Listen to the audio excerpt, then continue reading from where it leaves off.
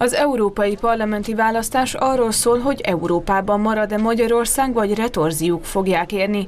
A Fidesz pártagságát felfüggesztették az Európai Néppártban, ez pedig előjele annak, hogy komoly európai pénzektől eshet el az ország a következő időszakban, mondta el Schneider Tamás, a Jobbik Magyarországét mozgalom elnöke a piacon tartott fórumon. Ennek a mostani választásnak szerintünk sokkal nagyobb a tétje, mint általában egy Európai Uniós választásnak. Nagyon egyszerűen azt is mondhatnánk, hogy választhatunk Szovjetunió és az Európai Unió között. A Jobbik számára a bérunió kérdése a legfontosabb. Elengedhetetlennek tartják, hogy normális anyagi körülmények között éljenek a magyar családok.